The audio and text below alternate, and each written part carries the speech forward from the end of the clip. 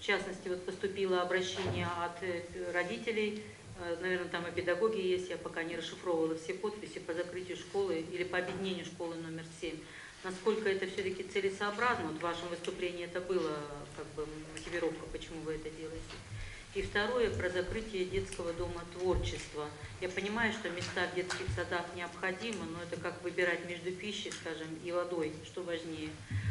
А, и э, вот э, количество детских садов на сегодня, количество воспитанников в них – и частные детские сады, если есть у вас такие цифры? Ну, по нашим, по муниципальным я могу сказать, у нас 180 детских садов на сегодняшний день, 44 тысячи воспитанников в настоящее время в детских садах. И если говорить об очередности от года до трех, то это порядка 12 тысяч. И если от трех, ой, от, от года до 7 лет и от 3 до 7 лет это порядка 8 тысяч человек, которые в настоящее время стоят в очереди.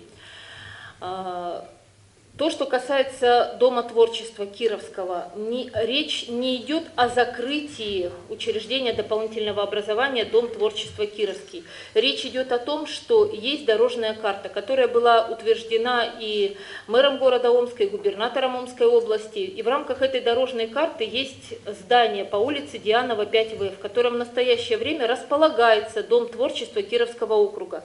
Но это здание бывшего детского сада, в котором мы можем открыть 9 полноценных групп для наших дошкольников. В Кировском округе эта проблема очень актуальна. И Дому пионера Кировского округа мы предлагаем ну, как бы возможности о переселении его в здание 28-й школы. Это находится ровно через дорогу от Дома пионеров Кировского округа. Поэтому ни речь не идет ни о сокращении кружков. 2320 человек в настоящее время занимаются в дополнительном образовании. И мы знаем, тоже есть указ, указы президента майский, да, в которых было сказано, что до 2015 года от 70 до 75% обучающихся должны быть у нас задействованы в учреждениях дополнительного образования. В настоящее время эта цифра у нас всего пока 50 53%. Поэтому мы не можем закрывать, мы должны развивать учреждения дополнительного образования. То, что касается образовательных комплексов, но в своем выступлении я уже сказала, что мы решаем ряд проблем, в том числе и материального оснащения этих учреждений.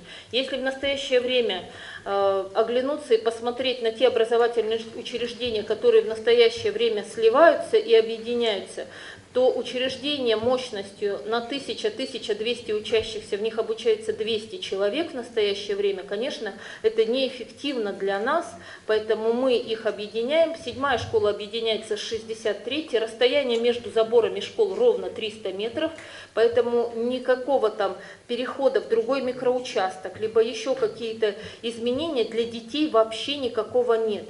Есть только одно, что мы сможем завести профильное обучение для старших классов, дети смогут смогут получить более качественное образование а, в стенах наших образовательных учреждений. Но такая информация, где вы еще планируете, потому что на комитет по социальным вопросам будем рассматривать, что все депутаты были в курсе, к чему готовиться, что действительно это без ущерба для детей произойдет. На все совещания, вообще как бы на все э, совещания с родителями, педагогическими коллективами мы приглашали депутатов с микроучастками, но, к сожалению, ни один депутат к нам не пришел.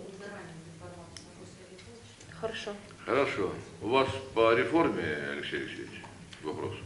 Да, пожалуйста. Скажите, Екатерина Витальевна. По новому закону, правильно сказать. Или да. Э, при создании укрупненных общеобразовательных центров э, чем будет обеспечиваться качество образовательных услуг и как оно будет контролироваться? Ну, качество образовательных услуг, я уже сказала, что когда мы создадим объединенный комплекс, мы можем завести туда все ступени образования, начиная с дошкольного образовательного учреждения, присоединяя к комплексу и детский сад.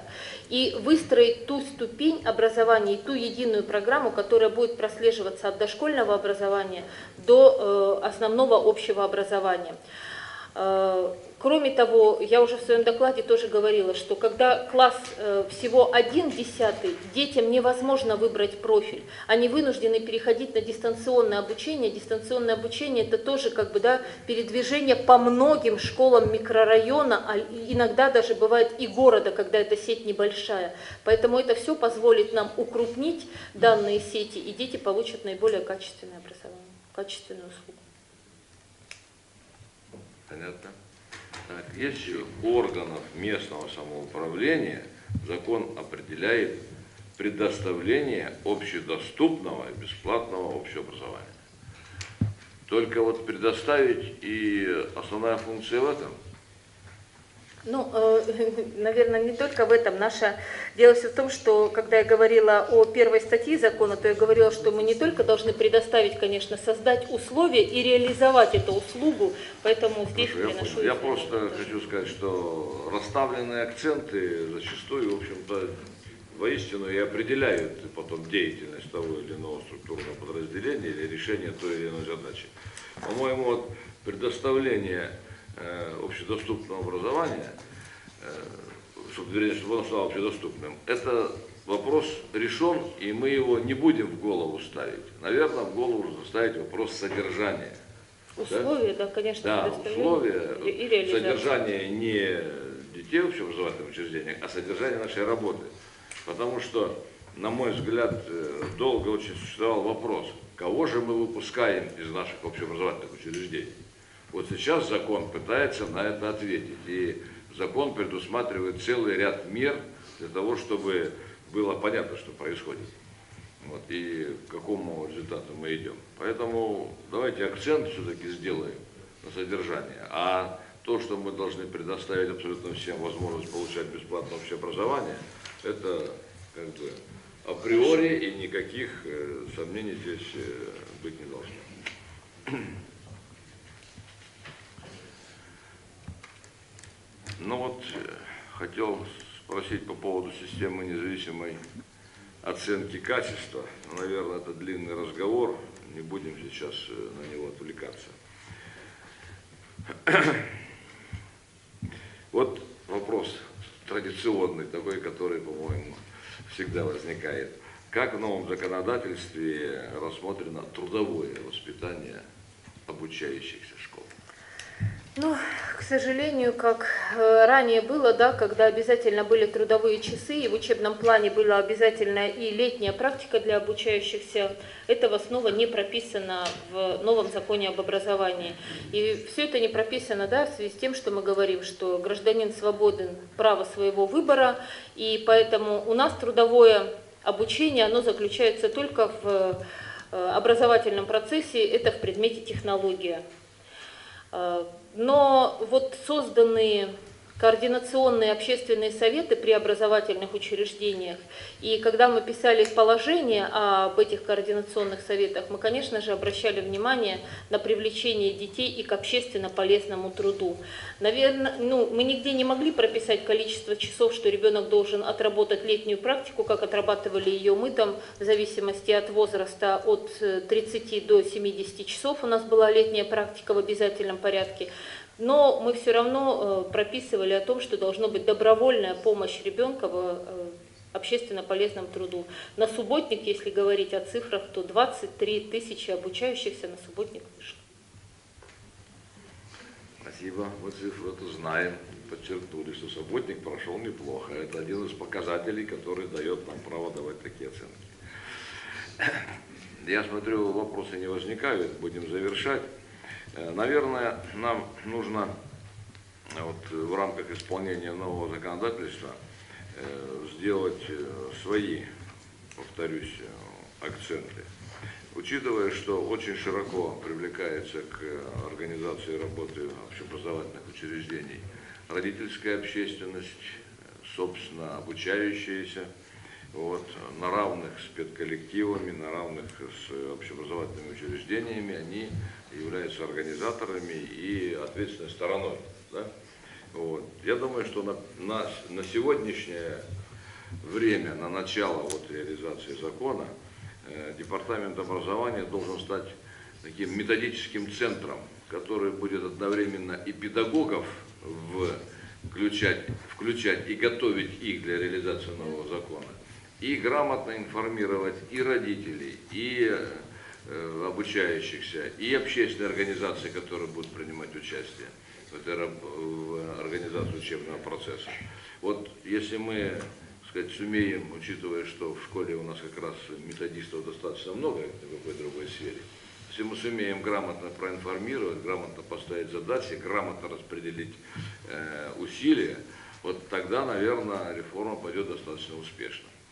А если родители не будут подготовлены к той функции, которая на них возлагается, да, то будет сложно опираться на общественность, и родители мы поставим крайне сложную ситуацию. Поэтому вот вопрос номер один.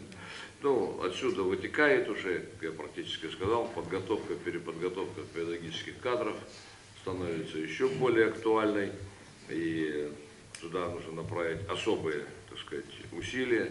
Ну и, наверное, э, вести отдельно речь нужно о профориентации наших выпускников образовательных школ. Это своего рода, так сказать, контакт с э, элементами трудового воспитания, да, чтобы они могли вот, э, сориентироваться. Ну и э, исходя из этого, все равно нам нужно вести разговор о том, чтобы налаживать э, связи и в общественных организациях, которые будут принимать участие в проведении э, образовательного процесса в школе, обязательно были предприятия. Крупные, мелкие, любые. Я думаю, что это очень важно, потому что э, в другом варианте провести работу профориентационную и понять, вот, э, для какой цели ребенок получает образование, где он себя будет реализовывать, трудно это сделать на теоретическом уровне. Если мы будем работать с конкретными э, предприятиями, неважно, они в сфере услуг, в сфере производства, хотя нам предпочтительнее, конечно, сфера производства, вот, только тогда можно будет э, сделать это цельным процессом. А вообще, конечно, закон ставит перед нами очень серьезные задачи, и школа становится еще более значимым социальным институтом. Да. Сознаете? Да. Сознаете. Добавление есть данного вопроса? Нет, да? Спасибо, Екатерина Николаевна. Присаживайтесь. Так, второй вопрос.